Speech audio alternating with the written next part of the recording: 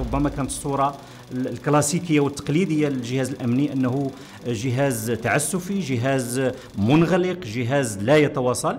ولكن اليوم لاحظنا كيف أنه في محطات عديدة كيف أنه ومن خلال توظيف كل وسائل التواصل بما فيها يعني وسائل الإعلام اللي هي متاحة تقليدية وسائل الإعلام العمومية وسائل الإعلام سواء المسموعة أو المرئية أو الرقمية.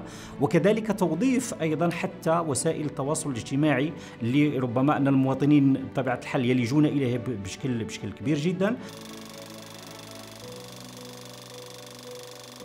تحولت مؤسسة الأمن في المغرب من جهاز منغلق على المجتمع منذ ستينيات القرن العشرين وقتما انغمرت في صراعات مع فئات وشرائح اجتماعية واسعة لسنوات قليلة بعد الاستقلال إلى مؤسسة منفتحة بشهادة الجميع.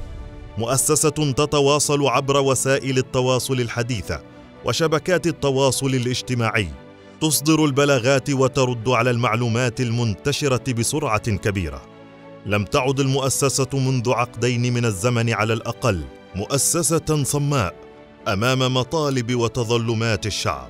بل بنت جسور تواصل إنسانية خلفت حالة من الرضا لدى المجتمع المغاربي.